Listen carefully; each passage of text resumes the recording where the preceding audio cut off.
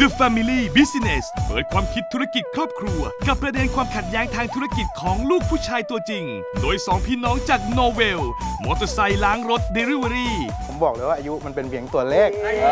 วัดที่อายุสมองนะ